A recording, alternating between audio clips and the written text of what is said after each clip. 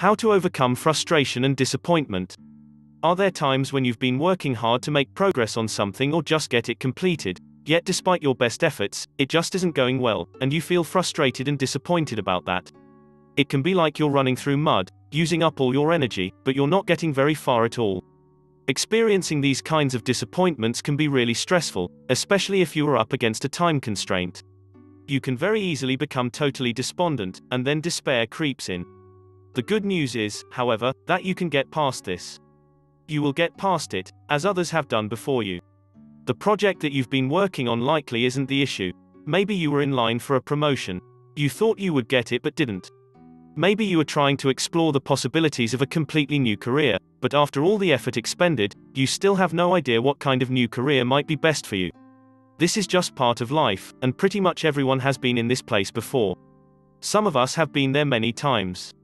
When we get in these situations, it's important to find different ways to move us over, under, around, or through them and not spend too much time dwelling on them. To overcome your frustration and disappointment, you only need to spend enough time thinking about your circumstances to get a good handle on the situation. Then, take action and create a change in the way you are seeing it. The fastest and most effective way of changing anything is to make a decision and take action. Consider these actions that others have done to make a positive difference. Reframe it. Reframe the situation and it takes on a whole new perspective. View the frustration that you are experiencing as a good thing because frustration means that you are just about to learn something. Look for the lesson. Once you've found it, you will never need to go back there again. Change your routine. Your daily routine has a bigger impact on the way you show up in life than you think. If you find yourself in a mindset that is not supporting you, change your routine. Go for a run, ride your bike, or go for a walk. Go somewhere different, go in the rain. Get close to nature, do something exhilarating. Your whole demeanor will change for the better in 60 minutes or less, and so will the challenge that you are wrestling with.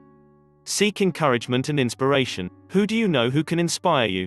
Encourage you, share some life wisdom with you. We all have someone we respect, trust, and enjoy talking over difficult situations with.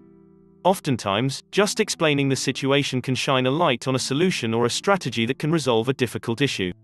Adjust your attitude. It's not what happens to you, it's what you do about it that matters. Acknowledge that you are in a place of frustration and disappointment, but also acknowledge that you can and will get past it. Other people have, and so will you. There is nothing that is going to be insurmountable. Start from the viewpoint that there is a solution here, and you will find it.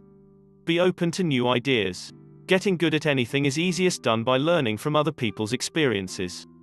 Always be open to new ideas, different ways of seeing things, additional strategies, and especially new attitudes. More often than not, it's not the situation or circumstance that is the root of the issue. It's either the way we are approaching it or the way we are perceiving it.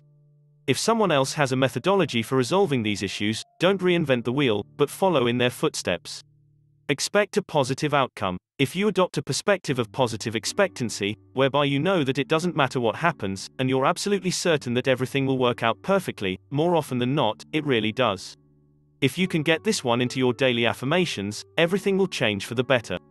Don't let frustration and disappointment rule over you. Use these tips to get past them and move forward toward the future you want. Thanks for watching our video. Please leave a comment, hit the like button, and share our video. Be safe, and stay healthy.